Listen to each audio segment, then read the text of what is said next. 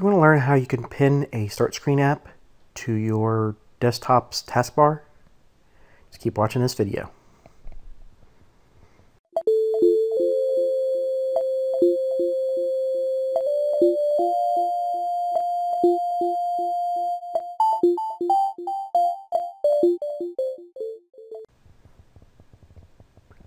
Alright, with the Windows 8.1 update that came out about a week ago, it actually gives you the capability to pin start screen apps to your desktop's taskbar.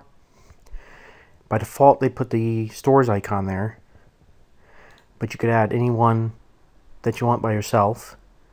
So say if I wanted to add this Maps app to the taskbar, you right click on it, and it gives you the option to pin to taskbar click on that.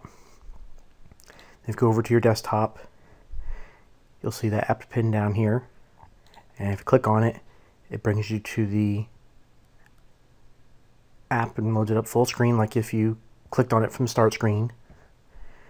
And then one of the nice features with uh, the Windows 8.1 update, if you go up here, actually gives you a title bar now and you can actually close it from up here with an X. And if you want to remove it from the taskbar, you right click click unpin.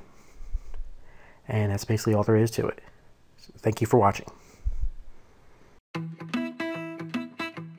If you'd like to see more Windows 8, Android, or beginners videos, click on one of these video clips and also consider subscribing to my channel. Thank you.